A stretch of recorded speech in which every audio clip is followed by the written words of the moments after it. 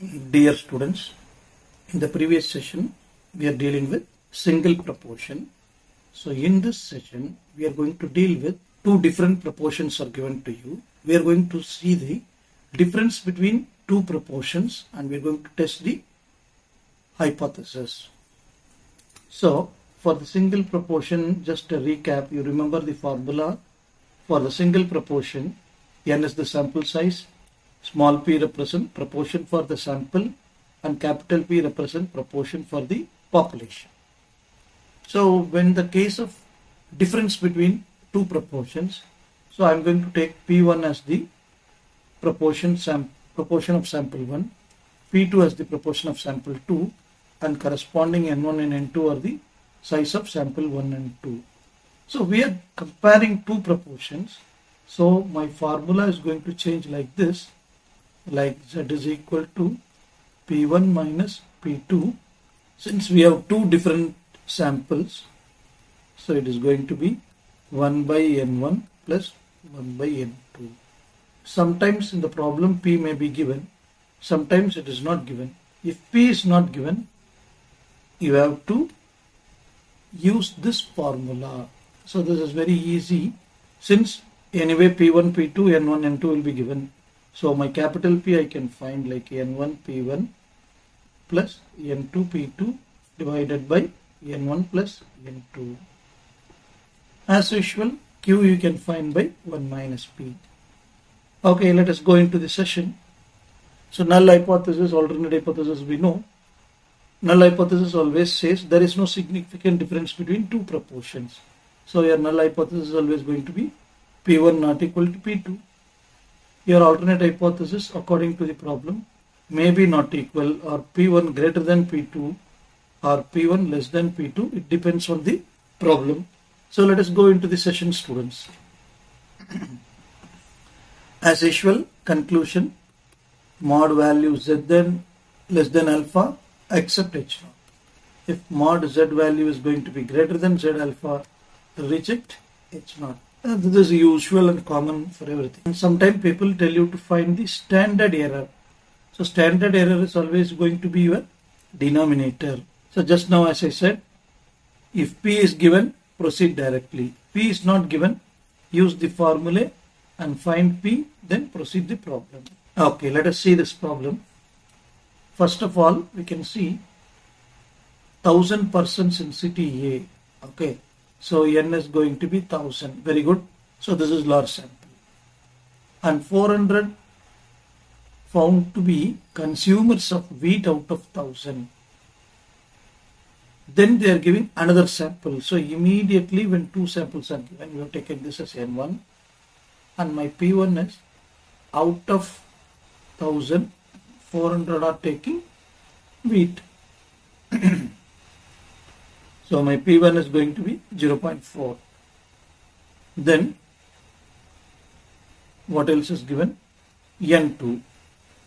Again 800 customers or 800 people from city. They are also consuming wheat. Out of 800 again 400 people are consuming wheat. So P1 and P2 are 0.5 and 0.4. Okay guys. So now we have n1 p1 n2 p2 okay let us see the question again. Does the data reveal the significant difference between two cities? So they are asking this data reveals there is a significant difference between two cities as per the proportion of wheat, con wheat consumers are concerned.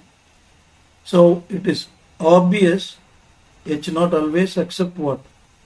P1 and P2. There is no difference between two cities.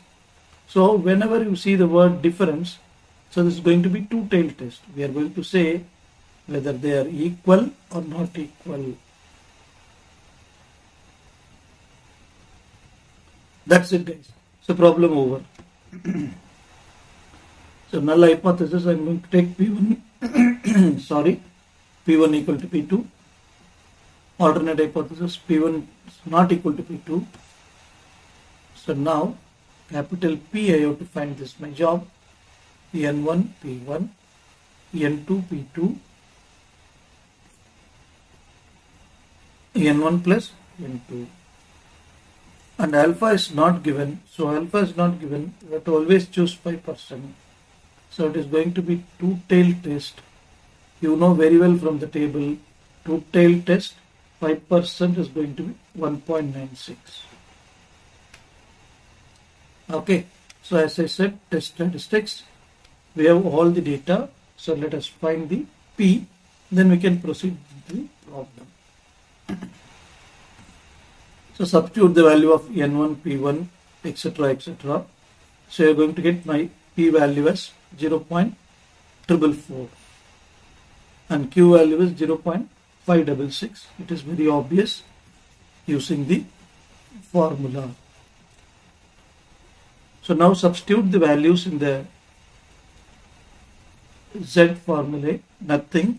Very important step is at the end of the problem you have to take modulus. So my modulus Z value is 4.2 and Z alpha value is 1.96. So calculated value is more than table value. Obviously H naught rejected. I already said calculative value is lesser, you are in safer side. Accept H naught. If it is more than your table value, then reject H naught. That's it. So as I said at the end of the conclusion in exam, write wheat, wheat consumers, wheat consumers in both cities are not equal. They are not same.